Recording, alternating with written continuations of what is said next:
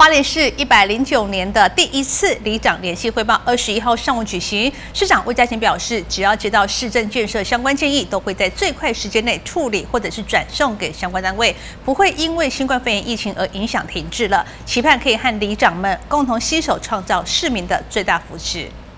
二十一号上午，花莲市公所举办了一百零九年第一次里长联系汇报。市长魏家贤针对花莲市公共工程的进行做了说明。他表示，在零二零六强震过后，虽然民生作息恢复正常，不过中央和地方政府仍持续在执行各项的灾后复原工作，这些都造成了民众生活上的不方便，希望大家能够体谅。施工所也会要求各单位在不影响施工品质前提之下，尽快完成。那尤其是下半年度开始。上半年度的疫情，那由于大家的防疫都做得非常非常的呃落实，让所所有的问题都能够降到最小。那我们希望说下半年度不只是要做防疫，更要把防灾的工作做到确实。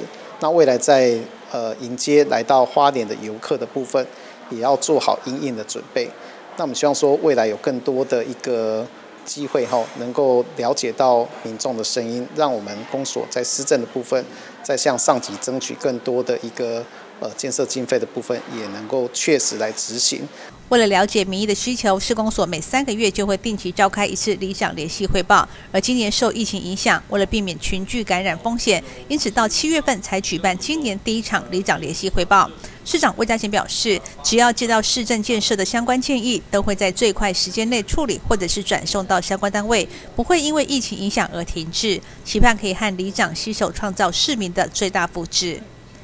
谢徐立群华联市报道。